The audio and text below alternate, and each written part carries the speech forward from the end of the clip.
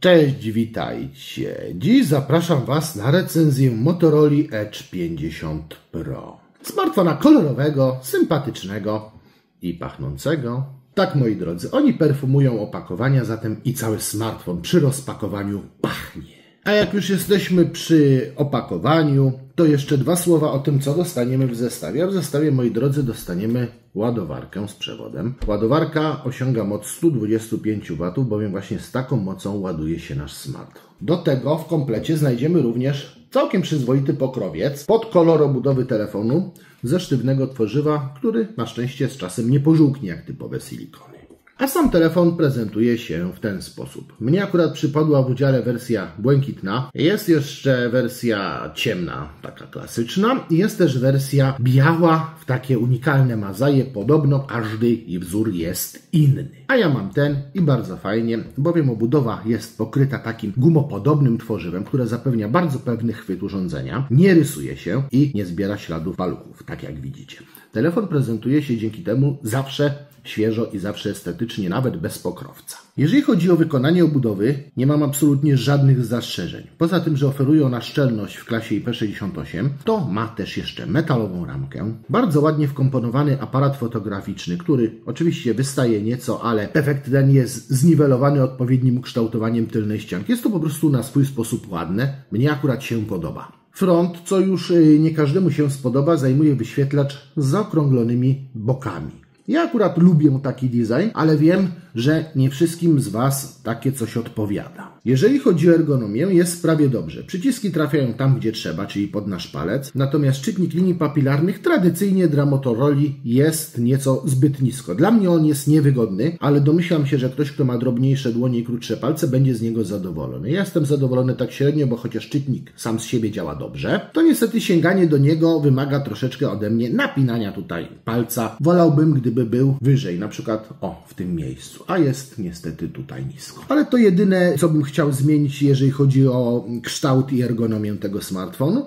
Cała reszta bardzo mi się podoba. Bardzo podoba mi się również wyświetlacz tego smartfonu. To 6,7-calowa matryca PIOLED o rozdzielczości nieco wyższej niż standardowe Full HD. Mamy tu bowiem 1220 na 2712 pikseli. Do tego mamy również ponadstandardowo wysoką częstotliwość odświeżania tego ekranu. 144 Hz w porywach oczywiście. W trybie automatycznym taka częstotliwość pojawi się myślę rzadko, ale można ją sobie ustawić na sztywno, co też zrobiłem z wielką przyjemnością. Na sztywno możemy też mieć nieco niższe 120 Hz, jak także standardowe 60, żeby oszczędzać akumulator. Ekran ma certyfikat Pantone, czyli speców od kolorów. No i rzeczywiście kolory to on ma naprawdę bycze. Świeci bardzo jasno, barwy są nasycone, ale w bardzo przyjemny dla oka sposób. Nie są przesadzone. Biel pozostaje bielą. Czerń jest oczywiście jak to na OLEDzie głęboka chna, a maksymalna jasność jest naprawdę wysoka. Co najważniejsze to to, że ten telefon bez problemu daje się obsługiwać słoneczne dni i padające na ekran słońce zupełnie nam w niczym nie przeszkadza. Obraz jest po prostu zawsze czytelny i co najważniejsze zawsze w dobrej jakości.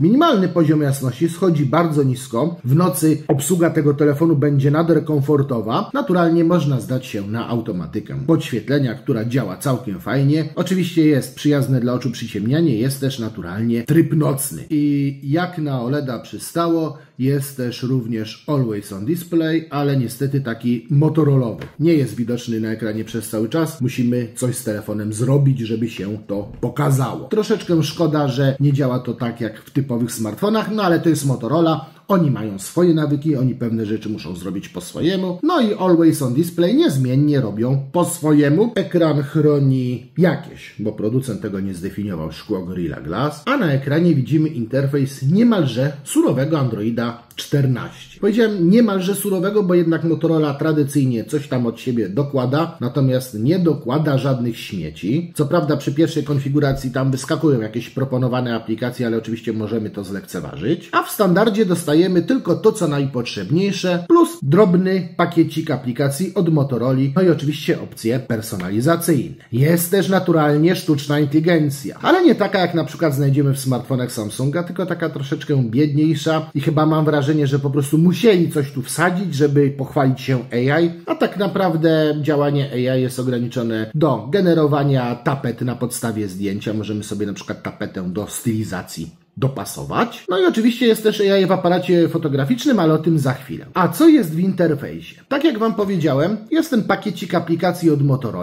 Mamy zatem tryb growy, mamy Moto Secure, czyli pakiet taki zabezpieczeń. Mamy też oczywiście funkcję Ready for, czyli możliwość przerobienia tego telefonu na podręczny komputerek podłączony do telewizora, klawiatury, myszy i tak dalej. Producent zapewnia, że telefon dostanie trzy duże update'y, czyli trzy wersje kolejne systemu, no i że przez 4 lata będzie otrzymywać regularne pakiety zabezpieczeń. Zobaczymy, jak to wyjdzie w praktyce, bo Motorola z tym wiemy bywa różnie. Wspomniałem jeszcze, że jest dość szeroki pakiet personalizacyjny. Poza tym, że możemy sobie tapetkę y, zrobić według naszej stylizacji na dany dzień. Możemy sobie jeszcze oczywiście zmienić układ ikon na ekranie, ich krój, y, krój czcionki. Mamy też oczywiście wszystkie typowe gesty plus kultowe gesty Motorola, jak na przykład ten do włączania latareczki, który ja niezmiennie uwielbiam, bo jest po prostu najzwyczajniej w świecie praktyczny. Innym gestem, czyli takim możemy bardzo szybko włączyć aparat fotograficzny oraz przerzucić się na aparat przedni. Jest też oczywiście wyciszanie telefonu poprzez odłożenie go ekranem w dół i tak dalej. Jest tego troszeczkę, ale wszystkie te dodatki od Motorola są nieinwazyjne i co ważne, skupione w jednym folderze, czyli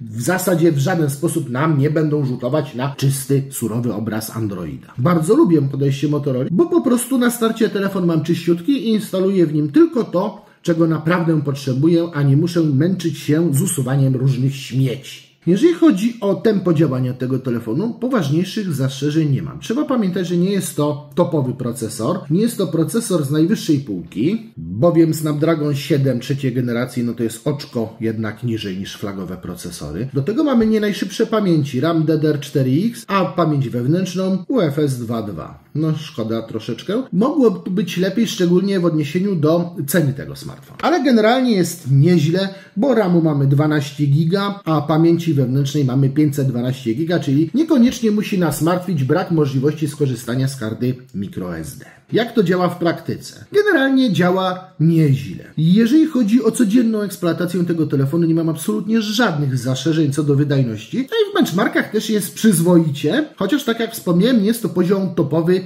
nie jest to poziom flagowców, to jest taki poziom powiedzmy mocniejszych średniaków. I tu w zasadzie jestem zadowolony. Bardzo zadowolony jestem również z kultury pracy tego procesora. Telefon nawet zapędzony do wytężonej roboty nie nagrzewa się prawie że wcale. Robi się troszeczkę cieplejszy, ale wierzcie mi, to, jest, to ciepło jest bardzo słabo wyczuwalne. No i oczywiście zero throttlingu. Bardzo dobra stabilność pracy tego telefonu. Cały czas w zasadzie kolejne przejścia w stres testach wykazują zbliżoną wydajność powyżej 90% czyli już jest bardzo dobrze, a ta jest nawet więcej niż dobra, bo tam mamy dobrze ponad 90% stabilności. I w zasadzie byłoby wszystko genialnie i byłoby super, ale jednak czasem telefonowi zdarza się przyciąć. Nie wiem dlaczego, o tym szerzej opowiem przy aparacie fotograficznym, bo to głównie tam są problemy. Natomiast generalnie, jeżeli chodzi o codzienne korzystanie z telefonu, granie, latanie po interfejsie, wszystko jest w jak najlepszym porządku i tutaj niczego nie skrytykuję.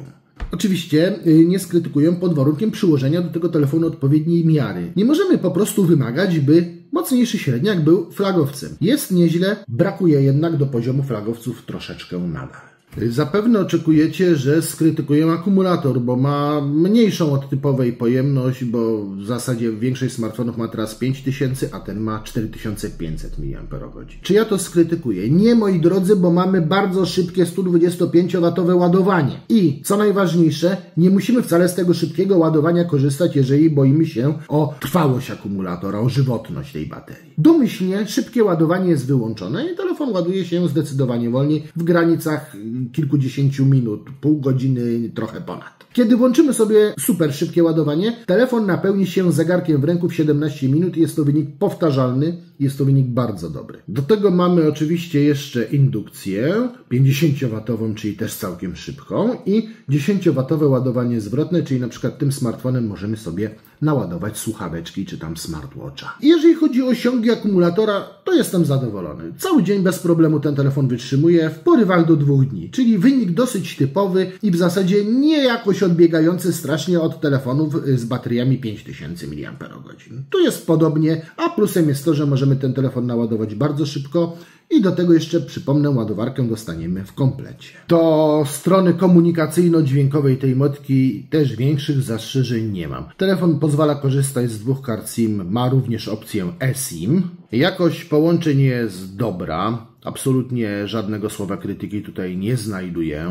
Jeżeli chodzi o działanie wszystkich modułów łączności, również problemów nie dostrzegłem, nie zauważyłem. A głośniki, no cóż, mamy stereo, ale takie typowo oszukiwane, bo głośnik dolny to jest ten większy, a drugim z głośników stereo jest oczywiście ten słuchawkowy. Niby jest Atmos, niby jest equalizer, ale jednak słyszymy tą nierówność brzmienia. Ten górny głośnik słuchawkowy daje troszeczkę mniej niskich tonów i gra odrobinę ciszej to się daje usłyszeć i wyczuć. Niemniej brzmieniowo jest całkiem ok, tragedii nie ma. To są głośniki na miarę średniaka. Oczywiście do najlepszych flagowych głośników nie ma podjazdu, natomiast y, krew z uszu również nie leci, jest całkiem dobrze. Przypomnę, że niestety nie ma mini jacka, słuchawek w komplecie też nie ma, trzeba sobie radzić bezprzewodowymi, a akurat Motorola przypadkiem takie ostatnio też wprowadziła i to całkiem przyzwoite. No i pora przejechać się po aparatach fotograficznych.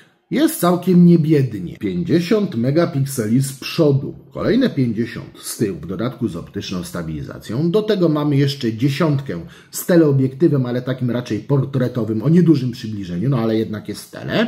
Mamy też 13-megowy aparat szerokokątny z funkcją makro. Bardzo dobrze, że Motorola nie pchała się w jakieś dodawanie dwumegówek do makro, bo aparat szerokokątny zrobi to po prostu lepiej. Włączy automatycznie nawet to makro i to działa i robi robotę. Jest też oczywiście laserowy autofokus, jest też diodka LED. No i to by było na tyle, jeżeli chodzi o fotograficzny setup. A jakie to robi zdjęcia? Generalnie robi zdjęcia bardzo fajne, ma certyfikat Pantona, więc oczywiście spodziewamy się, że kolory będą akuratne. No i tu jest ciekawy rozjazd, bo kolory wcale nie są akuratne, tylko są troszeczkę przegięte, podkręcone, ale zaznaczam słowo troszeczkę. To przegięcie jest takie przyjemne, miłe dla oka, te barwy są bardzo efektowne i można powiedzieć, że ta Motorola w zgrabny sposób ubarwia trochę naszą szarą rzeczywistość. Zdjęcia po prostu są ładne. Nazwijmy to wprost. Oczywiście Ktoś może się zrzymać, że kolory trochę odbiegają od naturalnych, są po prostu ładniejsze niż były w rzeczywistości, no ale chyba o to chodzi, żeby wspomnienia, które uwieczniamy, były ładne i efektowne, nie? Generalnie oczywiście na zdjęciach widać troszeczkę ślady tej cyfrowej obróbki, tego całego AI-a. Y, widać, że te zdjęcia są nieco przetworzone. Niemniej ja uważam, że są po prostu fajne do oglądania. Bez względu na to, którym obiektywem je wykonamy, zdjęcia są jakieś. Nie można powiedzieć, żeby zdjęcia były złe. Zdjęcia nocne też są fajne. Oczywiście tryb nocny czasem troszeczkę znowu przegina i robi nam na siłę z nocy dzień, ale nadal te zdjęcia są po prostu efektowne. Smartfon bardzo fajnie radzi sobie z jasnymi punktami w ciemniejszym, y, w ciemniejszym kadrze, czyli jakieś tam latarnie w nocy nie rażą nas w oczy, nie prześwietlają nam połowy zdjęcia, tylko po prostu widzimy jaśniejszy punkt. Jest to wszystko, moi drodzy, odzwierciedlane w bardzo fajny, zgrabny sposób. Naturalnie zdjęcia nocne najlepiej robić obiektywem głównym. Szerokokotny już mu wyraźnie ustępuje o tele nie wspominając, ale nadal tam będzie coś widać i nadal te zdjęcia będą oglądalne. Makro wychodzą bardzo fajnie. Portrety również, ale tu uwaga, portrety wyłącznie osób żywych. Telefon nie radzi sobie z przedmiotami nieożywionymi, natomiast jak AI wykryje twarz, wykryje człowieka w kadrze, no to już wtedy portret będzie jak najbardziej udany. Ogólnie rzecz biorąc, ze zdjęć jestem zadowolony, natomiast yy, musicie pamiętać, że jest to aparat, który troszeczkę koloryzuje nasz świat. Jeżeli oczekujecie zdjęć szarych, burych, zwyczajnych, no to niekoniecznie ten smartfon. I niestety ten smartfon też niekoniecznie polecałbym do filmowania. Co tu się odwaliło, to ja nie wiem, ale gubi klatki. Generalnie, co do jakości obrazu poważniejszych zastrzeżeń nie ma. Ostrość jest dobra, kolory są dobre, no tylko, że z płynnością jest problem. Zauważymy to szczególnie w momencie, kiedy szybko panoramujemy, kiedy wykonamy gwałtowniejszy ruch telefonem, względnie kiedy filmujemy szybciej poruszający się obiekt. Zauważymy, że po prostu wypadają klatki i są takie drobne przycięcia. Nie jest to jakoś dramatycznie straszny efekt, ale jest i moim zdaniem w telefonie kosztującym tyle, ile ta Motorola, nie powinno coś takiego w ogóle mieć miejsca. Niestety ma i co gorsze, zdarza się w każdych warunkach. Myślałem, że to wina wyższej rozdzielczości. Nie, Full HD dzieje się to samo. Myślałem, że to wina kodeka. Wyłączyłem hewca, dzieje się to samo. Kolega podpowiedział mi wyłącz stabilizację może. Niestety wyłączyłem i nadal się tnie. Po prostu najwyraźniej ten typ tak ma i moim zdaniem nie jest to kwestia wydajności procesora, bo tej niczego nie brakuje, tylko coś najwyraźniej zrąbali w softie w aplikacji telefonu. Jeżeli chodzi o filmowanie, ocenę niestety wystawiam raczej niską ze względu na wypadanie klatek praktycznie w każdych warunkach. Niekoniecznie dobrze ocenię też samo działanie interfejsu fotograficznego. Interfejs ogólnie ma bardzo fajny, dobry, przemyślany układ, ale działa troszeczkę powoli i znowu wydaje mi się, że jest to wina firmowej aplikacji fotograficznej, a nie wydajności całego telefonu. Coś tutaj widocznie sfafulono, i tyle. Miałem nadzieję, że Motorola wreszcie się ogarnie i zrobi coś z aplikacją aparatu. No niestety, y, może i coś poprawili, a wyszło jeszcze gorzej niż we wcześniejszych modelach. Aplikacja po prostu działa wolno. Czasem nawet zdjęcia wali z opóźnieniem, bo yy, niby na kadrze widzimy, że uchwyciliśmy coś w centrum kadru. Na przykład yy, miałem taki problem z przelatującym samolotem. Kiedy naciskałem migawkę, samolot był w centrum kadru, a efektowe zdjęcie było po prostu zdjęciem samego ogona samolotu na tle błękitu nieba. No super, nie? Także aplikacja aparatu również zasługuje tutaj u mnie na minus. To, że nie możemy nagrywać w 4K z 60 klatkami, no to już tylko zbędę milczeniem, bo przy tym procesorze to już powinno być możliwe. Ale przejdźmy już do właściwej oceny całego smartfonu. A ta jest powiedziałbym w miarę pozytywna, bo poza Kiksem z działaniem mapki fotograficznej i z filmowaniem, to jakichś poważniejszych mankamentów w tym telefonie nie ma, poza ceną. 3000 zł sobie Motorola życzy za ten telefon. I powiem Wam tak, albo kupcie go teraz, kiedy jest jakaś tam promocja, Motorola oferuje odkup i można tą cenę trochę zbić, albo poczekajcie, jak ta cena spadnie, bo mieliśmy nawet niedawno przykład, jak bardzo przyjemnie może stanieć Motorola. Przy cenie 3000 to powiem Wam szczerze, ja widzę troszeczkę lepsze smartfony na rynku, a przede wszystkim troszeczkę bardziej wszechstronne, pozbawione na przykład problemów z filmowaniem. Generalnie smartfon jest niezły. Bardzo szybko się ładuje. Na baterii pracuje mniej więcej tyle, ile szanujący się smartfon w obecnych czasach powinien pracować. Wydajność ma całkiem niezłą, nie grzeje się i pracuje bardzo stabilnie. Ma bardzo fajny interfejs, do tego bardzo fajnie wygląda. Ma głośniki stereo, nawet nie najgorsze. Jeżeli chodzi o funkcje komunikacyjne, absolutnie złego słowa nie da się powiedzieć. Do tego przy odpakowaniu pachnie. Ma całkiem bogaty zestaw y, sprzedażowy. No i ma super, hiper wyświetlacz. Naprawdę mega. Jeżeli zależy Wam na dobrym wyświetlaczu i to jest dla Was kluczowe, no to ta Motorola jest jednym z mocniejszych typów. Jeżeli chodzi o fotografię, też jest całkiem przyzwoicie. Mamy bardzo fajny zestaw aparatów. Natomiast niestety problemy pojawiają się, kiedy chcemy nagrać wideo, bo wideo najpłynniejsze niestety nie wychodzi z tego telefonu, a i aplikacja aparatu też troszeczkę wystawia naszą cierpliwość niekiedy na próbę. Minusem może być też troszeczkę nieergonomiczne moim zdaniem położenie czytnika linii papilarnych, chociaż sam czytnik i rozpoznawanie twarzy działają już jak należy. Czyli mamy telefon niezły, ale kilka rzeczy chciałbym, żeby w nim poprawiono. I z nadzieją, że jednak Motorola jakoś aplikację fotograficzną ogarnie i może problem z filmowaniem zniknie, teraz Was zostawię, a telefonik zapakuję do pudełka i grzecznie oddam producentowi. I pożegnam się z Wami, dziękując Wam za to, że kolejny raz ze mną byliście, oglądaliście recenzję, no i zapraszając na kolejne. Do zobaczenia. Cześć.